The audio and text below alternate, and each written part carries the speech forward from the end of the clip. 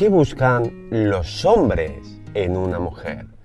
Te voy a decir las 7 cualidades que hacen a una mujer irresistible para los hombres. Y no van a ser las típicas cualidades, sino que algunas te sorprenderán. 1. Confianza y comprensión. A las mujeres a veces se les olvida que los hombres, más allá de testosterona, o que sean unos salidos o visuales, también son seres humanos. Un hombre busca comprensión y confianza, que confíes en él y le comprendas. Me da a mí la impresión que muchas mujeres se olvidan de que a los hombres también les gusta ser escuchados, de que al igual que a vosotras os gusta hablar de vuestros temas, a los hombres también expresarse abiertamente y sentir que pueden confiar en ti.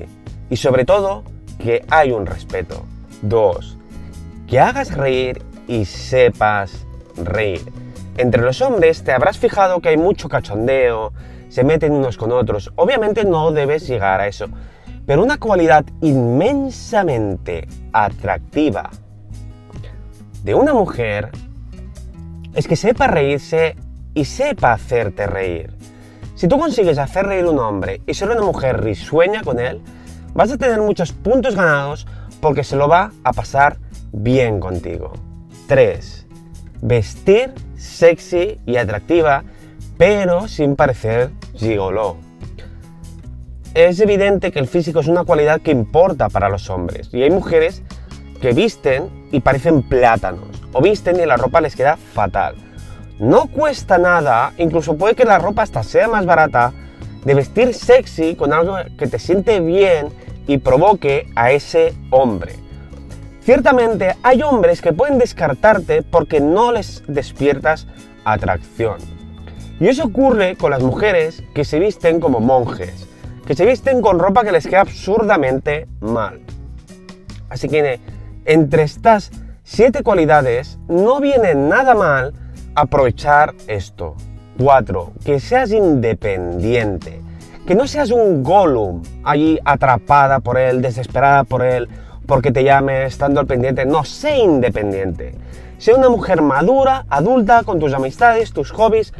No que seas dependiente total de ese hombre, porque eso a un hombre le agobia mucho. 5. Que sepas escuchar y hablar temas de hombres con soltura. Eso a un hombre le vuelve loco. Y además, alardeará mucho con sus amigos. Porque las mujeres desconectan bastante del tema de hombres. Muchas de ellas, obviamente no todas. Por ejemplo, de los videojuegos, del fútbol, cosas que son más de hombres y las mujeres desconectan. Solo por el hecho de tú controlar sobre eso es una cualidad muy positiva que a un hombre le gusta porque pocas mujeres cumplen. Y yo siempre he visto con amigos que cuando tienen una mujer gamer que le gusta el fútbol y tal, alardean constantemente porque su novia es muy enrollada, mientras que las demás están con cara de melones, mientras el hombre ve el fútbol o, está jugando y hay malas caras. En cambio, si tú eres una mujer entre ellos, es una cualidad inmensamente atractiva, que a un hombre le encanta. 6. Que no tengas vicios, fumar, alcohol y por supuesto mucho menos drogas. Incluso los hombres que fuman prefieren una mujer que no fume y por supuesto que no tenga vicios. Si no tienes vicios y llevas una vida sana, un hombre lo va a valorar con muchos puntos. Sobre todo hombres que valen la pena. Vale, si coges un matao con 35 años que vive con sus padres, que no tiene trabajo, que no tiene intenciones de hacer nada en la vida, puede que eso le dé igual. Pero un tío independiente, que tiene su piso, un buen trabajo, va a valorar mucho y descartará enseguida a una mujer que tenga adicciones. Yo, por ejemplo, siempre he descartado las mujeres que fuman. Nunca he fumado, no me gusta y es un motivo de descartar. Y hay muchos hombres independientes y hombres que vale la pena que descartan adicciones porque además los hombres así también suelen estar más espabilados. 7. Que les hagas sentirse hombre y sentirse bien. Un hombre, quieras o no, tiene que satisfacer su instinto de macho. No olvidemos nunca que somos animales Y como animales tenemos instinto y tenemos genes que nos hacen ser como son. Por eso los hombres y las mujeres somos diferentes. El hombre siempre ha sido la naturaleza más dominante, ha dominado el mundo y la mujer lo ha acompañado. Eso no significa que tú tengas que ser un vasallo ni mucho más, pero eh, es verdad, eh, y atención, eh, yo considero que las mujeres son mucho más valiosas que los hombres porque conversas mejor con ellas, etcétera, ¿no?